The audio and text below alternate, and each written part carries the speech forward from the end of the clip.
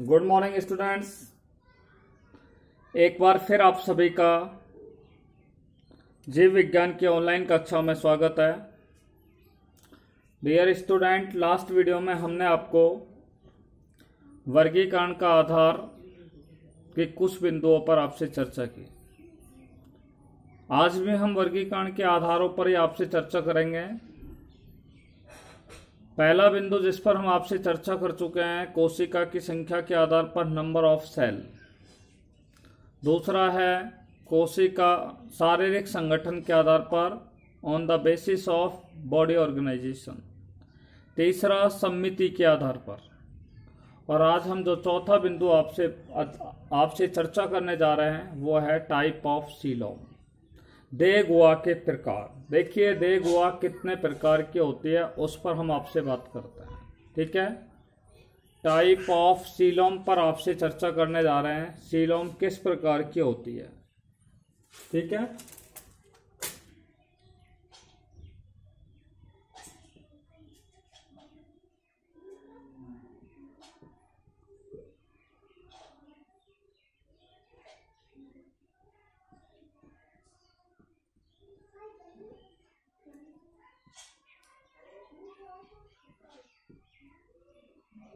Lesson number four नाम है animal kingdom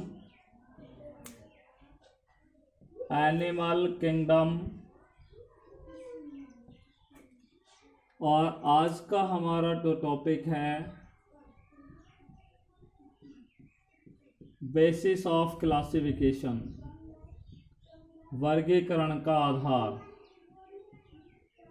वर्गीकरण के हम तीन आधारों पर आपसे चर्चा कर चुके हैं। कोशिका की संख्या के आधार पर, समिति के आधार पर और शारीरिक संगठन के आधार पर। नेक्स्ट हम पढ़ने जा रहे हैं दे गुआ के प्रकार के आधार पर। टाइप ऑफ़ सीलोम ठीक है? टाइप ऑफ़ सीलोम पर हम आपसे चर्चा करेंगे। दे गुआ के प्रकार के आधार पर। दे गुआ के प्रकार के आधार पर।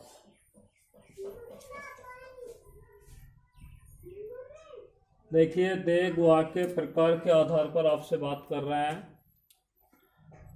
तो इसको समझाने से पहले हम कुछ बेसिक चीज़ों पर आपसे बात करते हैं।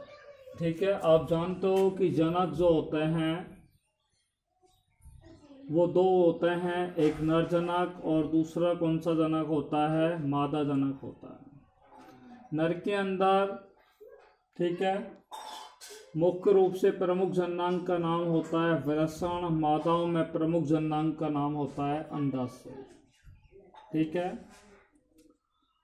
विरसण में शुक्र जनन की क्रिया होती है, जिसके फलस्वरूप किसका निर्माण होता है? शुक्राणु या नर युग्मक का निर्माण होता है। अंडाशय में अंडजनन की क्रिया होती है, जिसके फलस्वरूप किसका निर्माण होता है? अंडाणु का निर्माण होता है। जब नर और मादा दोनों आपस में क्या करते हैं? संयोग करते हैं। ठीक है? तो यहाँ पर आप देखिए कि अंडाणु के अंदर शुक्राणु प्रवेश कर जाता है, अर्थात यहाँ पर निषेचन की क्रिया क्या हो जाती है? पूर्ण हो जाती है। निषेचन की, यानी कि ये निषेचन की क्रिया के फलस्वरूप जो बनी हुई संरचना होती है, इसे क्या कहा जाता है? युग्मनज कहा जाता है। युग्मनज कैसा होता है? द्विगुणित होता है। युग्मनज कैसा होता है? द्विगुणित होता है। इस युग्मनज में फिर क्या होता है? भ्रूणीय परिवर्तन होता है और भ्रूणीय परिवर्तन में ये दूसरी स्टेज आती है, निषेचन के बाद कि इसमें विदलन की क्रिया प्रारंभ होती है। ठीक है? विदलन की प्रारंभ क्रिया होने के बाद यहाँ पर किसका निर्माण होता है? तूतकों का क्या होता है? निर्माण होता है। तूतक के बाद किसका निर्माण होता है? ब्लास्टूला का क्या होता है? निर्माण होता है। ठीक है? या कोरक रंध्रों का क्या है? निर्माण होता है।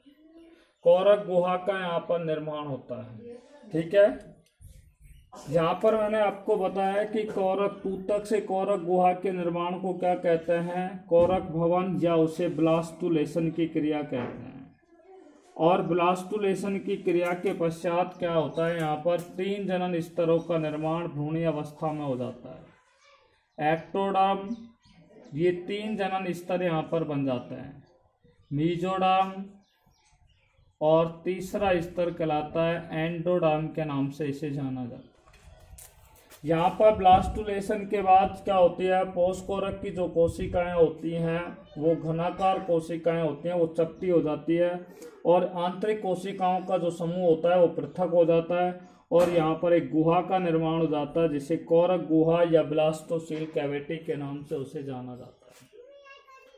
अब हम बात करते हैं टाइप ऑफ़ सीलोम के बारे में। दे गुहा के प्रकार। क्योंकि यहाँ पर कई चीज़ें यहाँ पर आएँगी कि भाई कोरक गुहा मैं आपको बोलूँगा तो आपको समस्या आएगी तो अब बात करते हैं देह गुहा के प्रकार के आधार पर।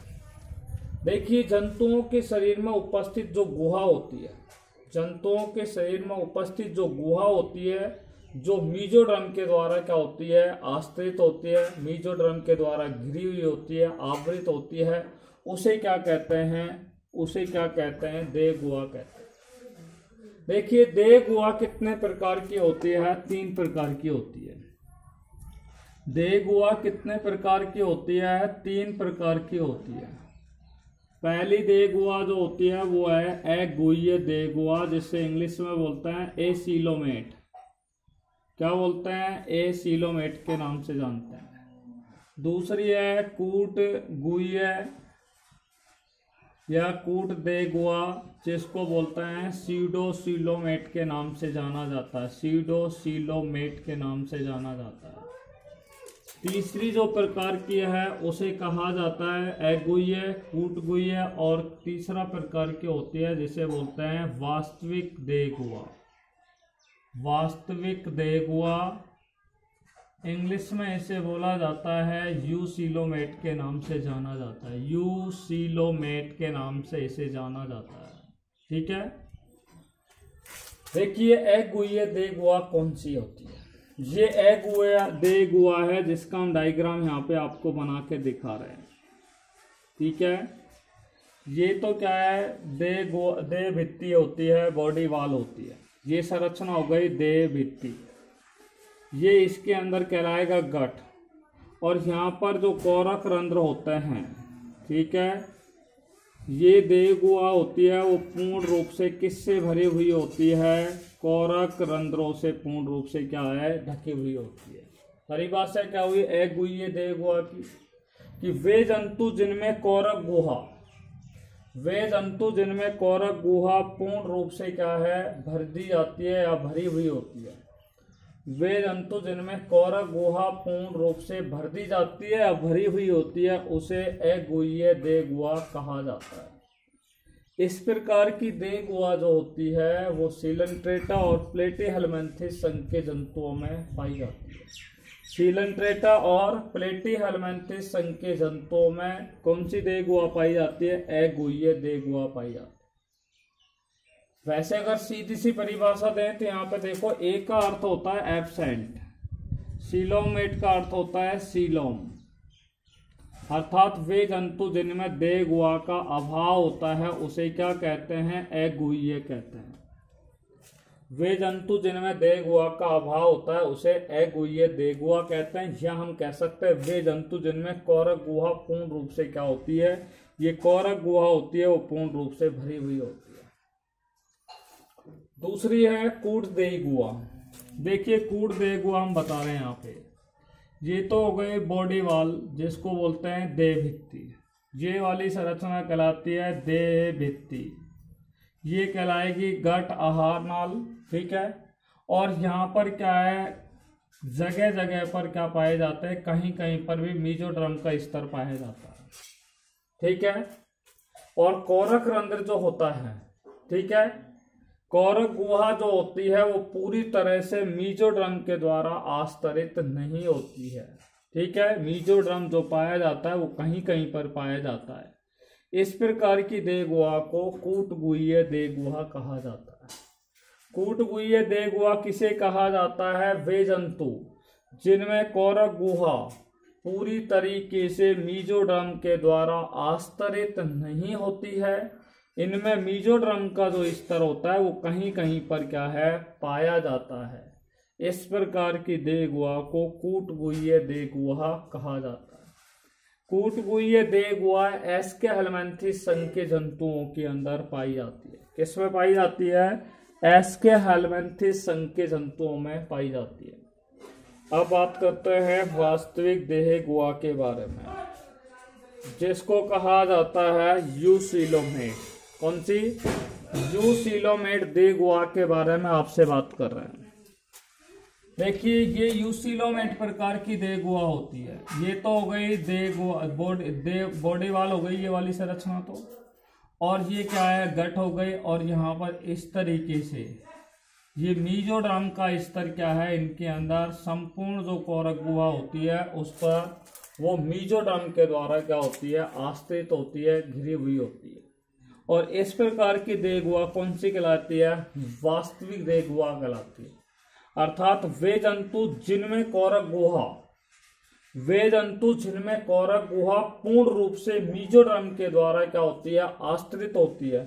पूर्ण रूप से मीजोडर्म के द्वारा क्या होती है? आश्रित होती है। उसे वास्तविक देगुआ या उसे यूसिलोमेट देगुआ कहा जाता है। यूसिलोमेट प्रकार की देगुआ किन में पाई जाते हैं? आपको बता दूँ, Annelida, Arthropoda, Mollusca, Echinodermata Hemichordata और कोर्डेटा जंतुओं के अंदर क्या है? ये वास्तविक देगुआ क्या है? पाई जाती है। ठीक है? तो ये हमारा वर्गीकरण का चौथा आधार है, वो पूरा हुआ दे गुआ के प्रकार के आधार पर। ठीक है? जैसे जंतु जिनमें दे गुहा क्या है? अनुपस्थित होते हैं या ऐसे जंतु जिनमें कौर गुहा पूर्ण रूप से क्या होती है? भर दी जाती है। ठीक है? अर्थात वहाँ पे मीजोड्रम का कोई स्तर नहीं होता है। वो कहलाती है एगुए सीलनट्रेटा और प्लेटे हेलमेंथिस संघ के जंतुओं में एगुए प्रकार की देगुआ पाई जाती है। कूट गुआ दे प्रकार की, इस प्रकार की जो दे गुआ होती है, उसमें कौरक गुआ पूर्ण रूप से मीजोड्रम के द्वारा आश्रित नहीं होती है, बल्कि मीजोड्रम का स्तर होता है, वो जगह जगह पर क्या है, या कहीं कहीं कर पर क्या है, पाया जाता है। वास्तविक देह गुआ ऐसी देह गुआ या वे जंतु जिनमें देह गुआ पूर्ण रूप से मीजोड्रम के द्वारा आश्रित होती है, इस प्रकार की देह गुआ को वास्तविक देह गुआ या यूसिलोमेट देगुआ कहते हैं। यूसिलोमेट प्रकार की देगुआ एनिलिडा संख्य जंतुओं में पाई जाती है, आर्थोपोडा संख्य जंतुओं में पाई जाती है मोलस का संख्य जंतुओं में पाई जाती है, एकाइनोडर्मेटा संख्य जंतुओं में पाई जाती है, खेमिकोडेटा, कोडेटा संख्य जंतुओं में पाई जाती है। देखिए नेक्स्ट टॉपिक पर हम बात करने जा रहे हैं। इसी का ही आधार है, वर्गीकरण का आधार, जिस पर हम बात करेंगे, और वो है पांचवा बिंदु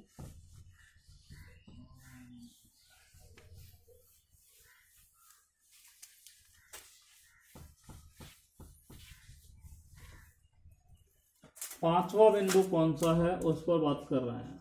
ठीक है? भ्रूणीय मुख एवं गुदा का निर्माण के आधार पर। भ्रूणीय मुख एवं मुख एवं गुदा के निर्माण के आधार पर। गुदा के निर्माण के आधार पर। ठीक है? भ्रूणीय मुख और गुदा के निर्माण के आधार पर हम बात करते हैं। देखो ऐसे जंतु जिनमें द्विपार समिति पाई जाती है। ऐसे जंतुओं के समूह को कहते हैं बाइलेटर बाइलेटेरिया और बाइलेटेरिया जंतुओं के समूह को उनके भूणीय परिवर्धन के समय, ठीक है मुख के निर्माण के आधार पर दो भागों में बांटा गया है। या सीधे शब्दों में कहें कि द्विपार समिति पाई जाने वाले जंतुओं में भ्रूणीय परिवर्तन के समय मुख के निर्माण के आधार पर उन्हें दो भागों में बांटा गया है। कितने भागों में बांटा गया है? दो भागों में। नंबर एक प्रोटोस्टोमिया प्रोटोस्टोमिया और दूसरा है ड्यूटूरियो ड्यूटीरियो स्टोमिया देखो, ये प्रोटोस्टोमिया पर हम बात करते हैं। प्रोटोस्टोमिया दो शब्दों से मिलकर के बना है। प्रोटोस प्लस स्टोमिया ठीक है? प्रोटोस का अर्थ होता है फ़र्स्ट और इस्टोमिया का अर्थ होता है माउथ। ऐसे जंतु जिनमें पहले किसका निर्माण होता है? फ़र्स्ट का मतलब पहले, माउथ का अर्थ होता है मुख। ऐसे जंतु जिनमें पहले किसका निर्माण होता है? मुख का निर्माण होता है। और मुख का निर्माण किससे होता है? कोरक रंध्र से होता है ब्लास्टो स्पोर से होता है। किससे होता है? ब्लास्टो स्पोर से होता है। तो वे जंतु जिनमें कोरक रंध्र से वे जंतु जिनमें कोरक रंध्र से पहले किसका निर्माण होता है? मुख का निर्माण होता है, उसे प्रोटोस्टोमिया कहते हैं। वे जंतु जिनमें कोरक रंध्र से या ब्लास्टोस्पोर से पहले किसका निर्माण होता है? मुख का निर्माण होता है, उसे प्रोटोस्टोमिया कहते हैं। दूसरा है ड्यूटूरियोस्टोमिया ठीक है? ऐसे जंतु जिनके अंदर कोरक रंध्र का निर्माण, ठीक है कोरक रंध्र से गुदा का क्या होता है? निर्माण होता है। या वे जंतु जिनमें कोरक रंध्र से किसका निर्माण होता है? गुदा का निर्माण होता है, उसे ड्यूटेरियोस्टोमिया कहा जाता है। इकाइनोडर्मेटा हेमिकोडेटा, कोडेटा संघ के जंतुओं में क्या है? ड्यूटूरियोस्टोमिया होता है, अर्थात उनमें पहले गुदा का निर्माण होता है, फिर मुख का निर्माण होता है। ठीक है? और प्रोटोस्टोमिया में पहले मुख का निर्माण होता है, फिर किसका निर्माण होता है? गुदा का निर्माण होता है। जैसे प्लेटी एलमेंथिस और एसके एलमेंथिस संघ के जंतुओं में इस प्रकार से होता है। तो भ्रूणीय मुख और गुदा के निर्माण के आधार पर जंतुओं को, खासतौर से बायोलेट्रिया समूह के जंतुओं को दो समूह, दो भागों में बांटा गया है प्रोटोस्टोमिया और ड्यूटोरियोस्टोमिया प्रोटोस्टोमिया, जिसमें मैंने बताया, ऐसे जंतु जिनमें कोरक रंध्र से पहले मुख का निर्माण होता है, उसे प्रोटोस्टोमिया कहते हैं। ऐसे जंतु जिनमें कोरक रंध्र से पहले किसका निर्माण होता है? गुदा का निर्माण होता है, उसे ड्यूटोरियोस्टोमिया कहा जाता है। अगला तो पांचवा बिंदु है, जिस पर हम बात कर रहे हैं, जनन स्तरों के आधार पर। किसके आधार पर? जनन स्तरों के आधार पर। ये छठा बिंदु है हमारा जर्मिनल लेयर्स के आधार पर। जनन स्तरों के आधार पर। अभी हमने आपको बताया कि निषेचन के बाद ये जो संरचना बनती है, इसे क्या कहते हैं? युग्मनज कहते हैं। युग्मनज में विदलन होता है। विदलन से तूतक का निर्माण होता है। तूतक से ब्लास्टुला का निर्माण होता है। ब्लास्टुला के बाद यहाँ पर तीन जनन स्तरों का क्या होता है? निर्माण होता है। कितने जनन स्तरों का निर्माण होता है? तीन जनन स्तरों का निर्माण होता है। जिसे हम गैस्तुला भवन या गैस्टुलेशन के नाम से उसे जाना जाता है। युग्मन से तीन जनन स्तरों के निर्माण की क्रिया को गैस्टुला भवन कहते हैं। युग्मन से तीन जनन स्तरों के निर्माण की क्रिया को इस स्तर को एक्टोडर्म कहते हैं, इसको मीजोडर्म कहते हैं, इसको कौन सा डर्म कहते हैं? एंडोडर्म कहते हैं। ठीक है, युग्मनल से एक्टोडर्म, मीजोडर्म और एंडोडर्म के निर्माण की क्रिया को, अर्थात तीन जनन स्तरों के निर्माण की क्रिया को गैस्टुला भवन कहते हैं। ठीक है? तो यहाँ पर आप देखिए जनन स्तरों के आधार पर जंतु जो होते हैं या जनन स्तरों की संख्या के आधार पर जंतु दो प्रकार के होते हैं। जंतु कौन कौन से कौन कौन से प्रकार के होते हैं? एक होते हैं डिप्लोब्लास्टिक। डिप्लोब्लास्टिक जिसको हम बोलते हैं द्विकोरकी द्विकोरकी। और दूसरे होते हैं ट्रिप्लोब्लास्टिक ट्रिप्लोब्लास्टिक, जिसे बोलते हैं त्रिकोरकी त्रिकोरकी। सबसे पहले बात करते हैं डिप्लोब्लास्टिक के बारे में, ठीक है? देखिए, ऐसे जंतु जिनमें, ठीक है, केवल युग्मन से दो जनन स्तरों का निर्माण होता है। कौन कौन से जनन स्तरों का निर्माण होता है? एक्टोडर्म का और दूसरा कौन से स्तर का निर्माण होता है? एंडोडर्म का निर्माण होता है। वे जंतु जिनके युग्मन से ठीक है? एक्टोडर्म और एंडोडर्म दो ही जनन स्तरों का क्या होता है? निर्माण होता है। या वे जंतु जिनमें ब्लास्टोला से दो जनन स्तरों का निर्माण हो, उसे द्विकोरकीय जंतु कहते हैं। कौन से जंतु कहते हैं? द्विकोर की जंतु कहते हैं। जैसे पॉरीफेरा और सीलन ट्रेटा वर्ग के जो जंतु होते हैं। पॉरीफेरा और सीलन ट्रेटा संघ के जो जंतु होते हैं, वो डिप्लोब्लास्टिक होते हैं। डिप्लोब्लास्टिक देखिए, ऐसे जंतु जिनमें युग्म से तीन जनन स्तरों का निर्माण होता है। ये बाह्य स्तर कहलाएगा एक्टोडर्म। ये कहलाएगा मीजोडर्म। और ये वाला स्तर कहलाएगा एंडोडर्म। ठीक है? परिभाषा क्या हुई? तरीकोरे की कि वे जंतु जिनमें युग्मन स्थित तीन जनन स्तरों का निर्माण होता है, एक्टोडर्म, मीजोडर्म और एंडोडर्म का निर्माण होता है, उन्हें त्रिकोर की जंतु कहते हैं। या वे जंतु जिनमें ब्लास्टुला से तीन जनन स्तरों का निर्माण होता है, उन्हें त्रिकोर की जंतु कहा जाता है। कौन से जंतु कहा जाता है? त्रिकोरे की जंतु कहा जाता है। प्लेटी एलिमेंट्रीज एस्के एलिमेंट्रीज Annelida Arthropoda Mollusca, Echinodermata, Hemichordata और कोर्डेटा संघ के जंतु होते हैं, वो ट्रिप्लोब्लास्टिक होते हैं।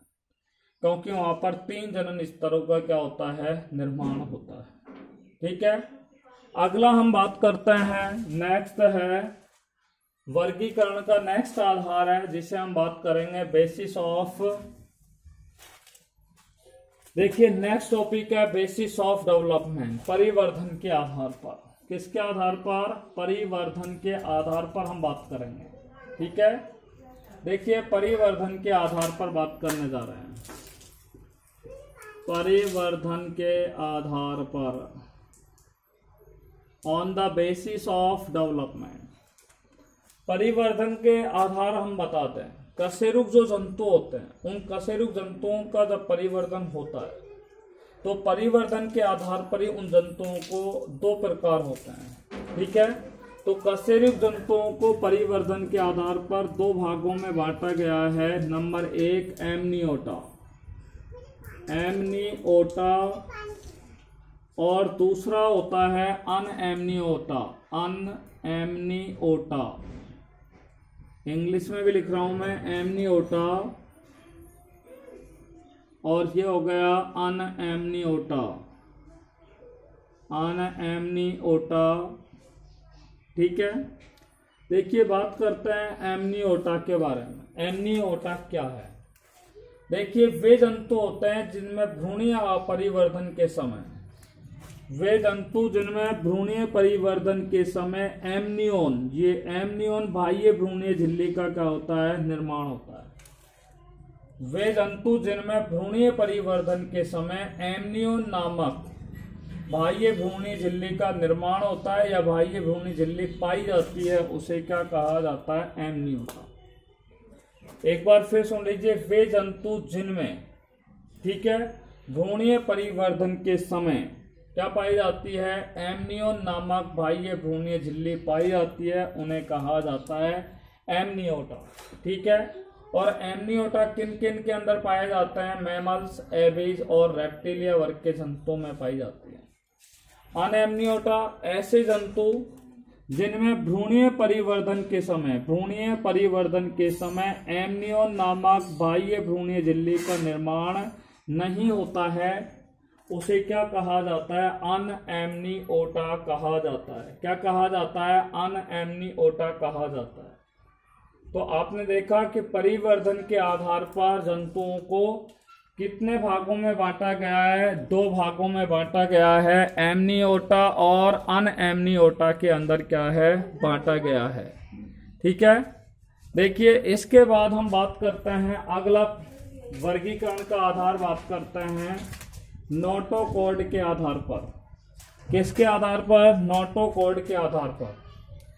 देखिए, मैं आपको बता दूँ, कुछ जंतु ऐसे होते हैं जिनके अंदर कुछ जंतु ऐसे होते हैं जिनमें मीजोडर्म जो होती है, कुछ जंतु ऐसे होते हैं जिनमें मीजोडर्म से उत्पन्न क्या होती है? एक सलाका के आकार की संरचना पाई जाती है।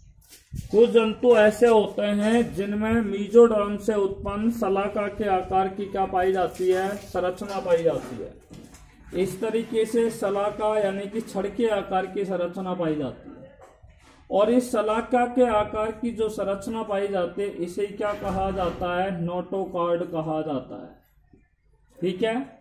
नोटोकोड के आधार पर भी जंतुओं का क्या किया गया है? वर्गीकरण किया गया है। इसलिए मैंने बोला कि कुछ जंतुओं में मीजोड्राम से उत्पन्न, एक सलाका आकार सलाका आकार का मतलब एक छड़ के आकार की संरचना पाई जाती है। और ये जो सलाका के आकार की संरचना होती है या छड़ के आकार की जो संरचना होती है, वो मध्य पृष्ठ भाग में क्या है? पाई जाती है।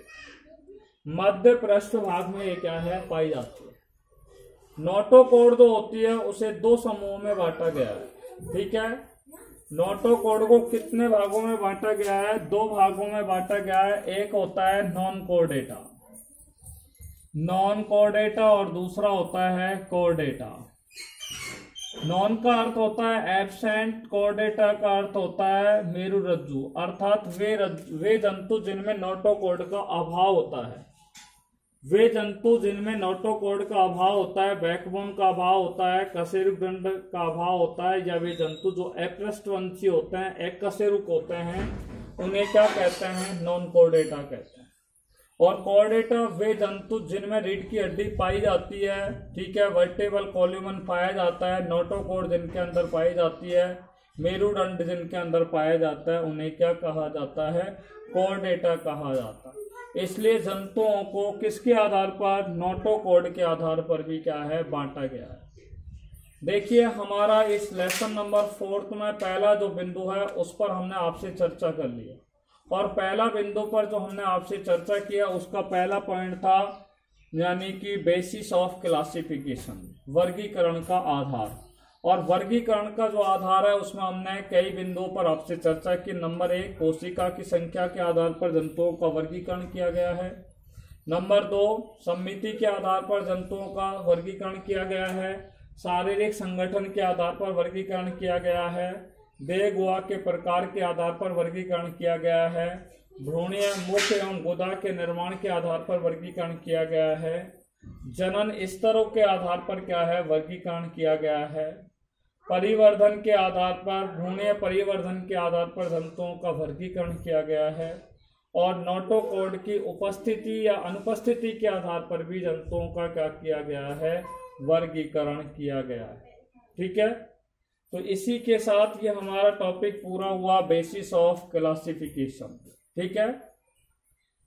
नेक्स्ट टॉपिक में हम नॉन कोऑर्डिनेटर या कोऑर्डिनेटर में से किसी एक भाग को भाग पर हम क्या करेंगे? आपसे चर्चा करेंगे। Till then take care bye corona be safe be happy thanks very much